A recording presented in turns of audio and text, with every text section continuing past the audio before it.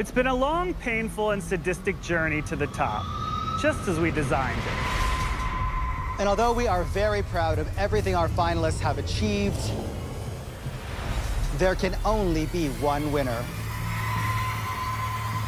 And we have made our final decision.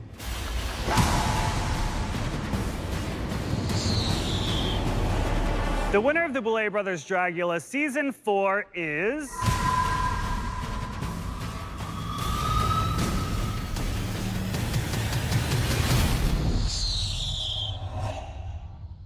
Dolly.